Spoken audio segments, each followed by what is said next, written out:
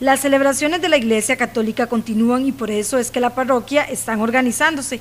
La primera de ellas será el 31 de mayo cuando se lleve a cabo la celebración del Pentecostés, que se celebra 50 días posteriores a la Pascua. Entonces, claro, tendremos acá, si Dios quiere, vigilia de 6 de la tarde a 6 de la mañana. Toda la noche ese sábado. Toda la noche ese sábado. Aquí vamos a estar en vigilia, vamos a estar animando, eh, compartiendo y también en algunas filiales, por lo menos unas horas, vamos a tener de, de fiesta.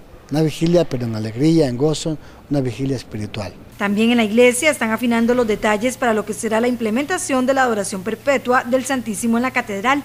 La actividad de lanzamiento será el 4 de junio, que es propiamente el día del Corpus Christi. Procesión con el Santísimo, hay celebración. Lo iniciamos con la Santa Eucaristía a las 6 de la mañana, luego tendremos adoración, luego ya por la tarde tendremos la, procesión con el Santísimo. No sabemos si va a ser solamente aquí todavía a nivel interno de la iglesia, si vamos a caminar por la calle y luego pues también ya para que llegue a la, a la custodia y se nos quede ahí si Dios quiere, para siempre. Y ya la celebración del Corpus será el domingo 7 de junio, donde la principal finalidad es proclamar y aumentar la fe de los católicos en la presencia real de Jesucristo en el Santísimo Sacramento.